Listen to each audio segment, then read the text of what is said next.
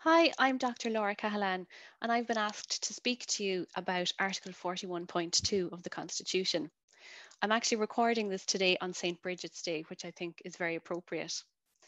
Now, you've already been given some background to the provision, but before we discuss replacing it or deleting it, it might be useful just to have a brief look at the wording of the provision itself. Now, many people assume that the provision says that a woman's place is in the home. It doesn't, but you might say the implication is there with the language used. For example, her life within the home or duties within the home. And many people, when they read this provision, ask, why was it put in the Constitution in the first place? And also what was intended by it. And this was a question which was actually asked by a small number of women's groups at the time the Constitution was published. And in response to that, De Valera addressed the Dáil, and he did say that the intention was not to interfere with the rights of women, um, and that it was not intended to prevent women from working. But on the question of what was intended, and in particular whether a concrete economic benefit was intended, that was a little less clear. Now, De Valera did mention the possibility of providing a, a, sort of state support to women for performing what he said was a fundamental service to the community in her role as wife and mother. But he also said that this should be left open so that successive governments would have the freedom to deal with it as they saw fit. So, while not explicit, the potential to use this provision to require the state to financially support women in the home would have been possible. But despite the grand language used, it was not used in that way. And despite the, the assurances from those in power that women's rights would not be curtailed, that is exactly what happened in the years that followed. And while societal changes and the influence of the women's movements later on meant many improvements in the lives of women, this constitutional provision was not part of that change. And so that raises the question is the provision of any use in law? And the short answer is probably not. Now, the direct question of whether the state would be required to facilitate a mother financially to remain in the home was never actually raised in a court case.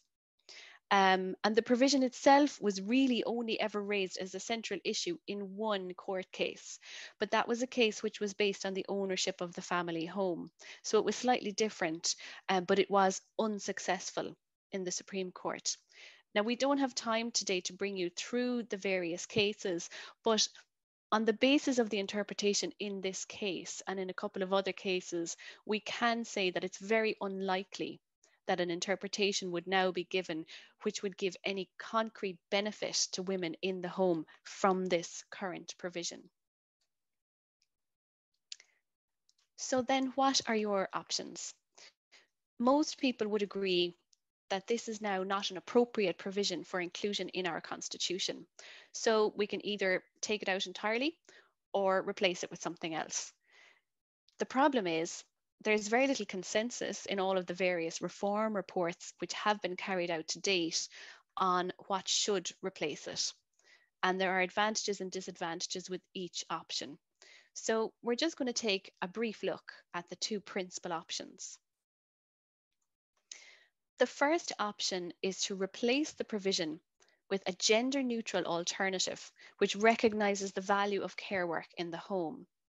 And the wording which is on the slide is essentially what was recommended by the Department of Justice Task Force, which was set up to consider the recommendations of the Constitutional Convention.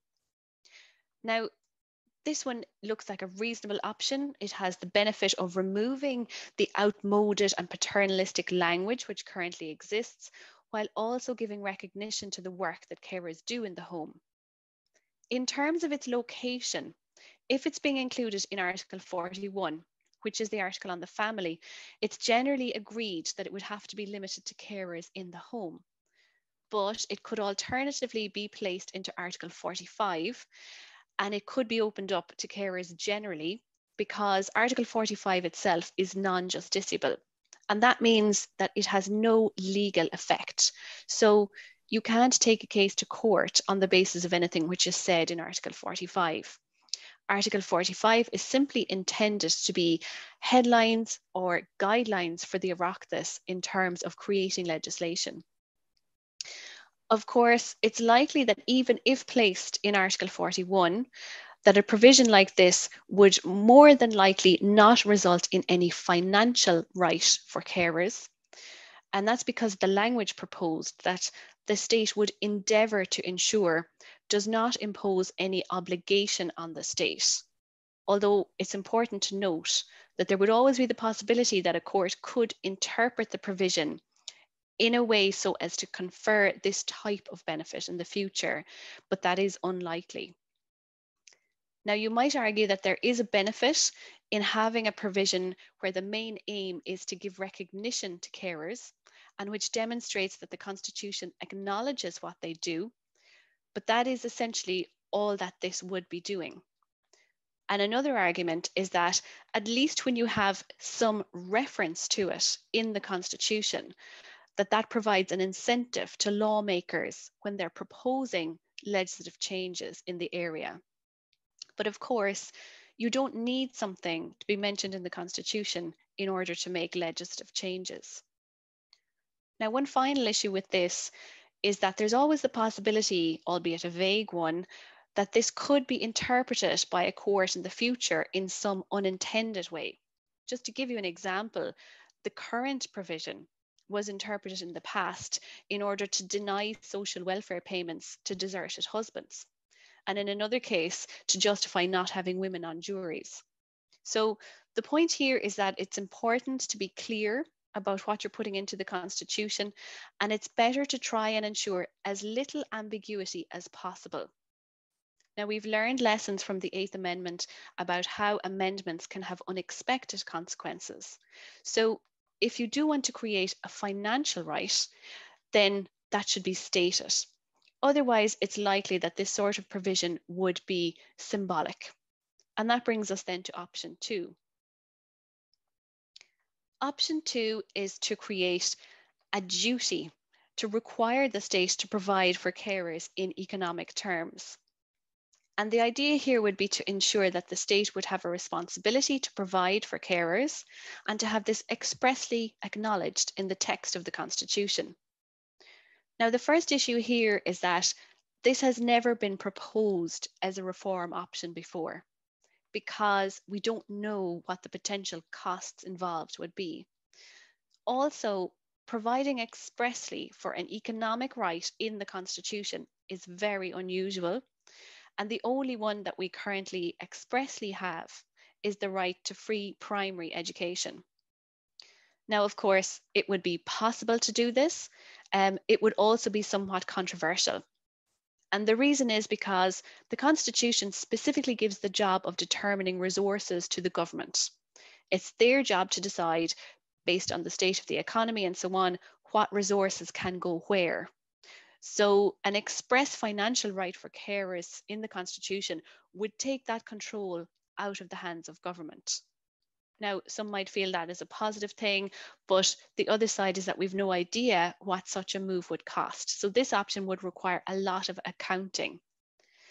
And the other issue is that it's quite unlikely that this option would be accepted by government for the reasons just outlined. Of course, the other option is simply to remove it. Now, a disadvantage of deleting the provision is that you're removing any recognition of care work from the Constitution itself if it's felt that that recognition has value. In terms of the positives, deleting the article has the advantage of clarity, certainty, and simplicity. In the first place, it removes the derogatory and insulting language, but it also removes the potential for any unintended interpretation of the provision at some point in the future. It also moves away from having inoperative and arguably pointless clauses in the Constitution.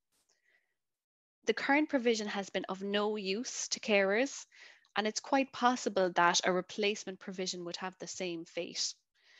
And the crucial issue here is that reform is badly needed in the area of care work, but you don't need a constitutional amendment in order to address that. In fact, legislative action is the only way that real change can be achieved in this area. So you could say that having arguments about what wording should replace Article 41.2 might only prove to be a further distraction and might further distance any potential real reform. And real reform can easily be achieved through legislation. So those are all of the options. As you can see, there are arguments on both sides for all of the options. So you've quite a lot to think about. I wish you luck with all of your deliberations.